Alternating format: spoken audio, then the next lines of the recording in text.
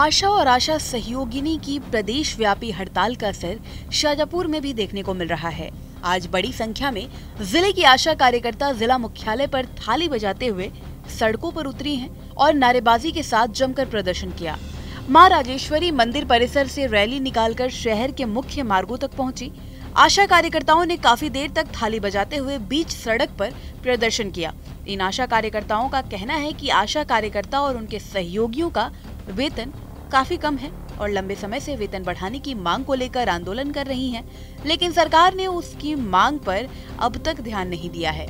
आशा कार्यकर्ताओं का कहना है कि अब मांग न माने जाने का तक इनका आंदोलन इसी तरीके से जारी रहेगा और ज़िले की सभी आशा कार्यकर्ता हड़ताल पर रहेगी। हमारी दो मुख्य ही मांगे हैं।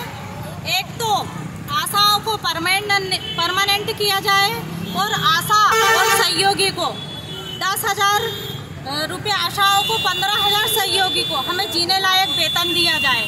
जो हमारी मुख्य मांग थी, हमने, हमारी मांगे तो ज़्यादा थी, चौबीस हज़ार और आशाओं का अठारह हज़ार। जब हमने चौबीस तारीख को भोपाल में धरना प्रदर्शन किया था, पर हमें एन आर एच एम से सभी भारद्वाज मैडम से आश्वासन मिला था कि दस हज़ार आशाओं का होगा और पंद्रह हज़ार सहयोगियों का।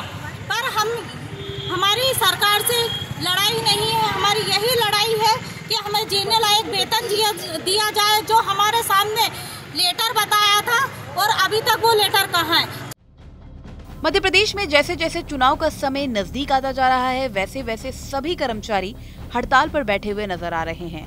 इसी कड़ी में 15 मार्च से महिला बाल विकास विभाग के परियोजना अधिकारी सुपरवाइजर एवं आंगनबाड़ी कार्यकर्ता सहायिका अनिश्चितकालीन हड़ताल पर संयुक्त मोर्चा के बैनर तले बैठे हुए आंगनवाड़ी कार्यकर्ताओं के अनिश्चितकालीन हड़ताल से बैठने पर सरकार की महत्वपूर्ण योजना, लाडली बहना योजना पूरी तरह से प्रभावित हो रही है। वहीं अब देखना होगा कि क्या सरकार इनकी मांगों पर ध्यान देती है या नहीं।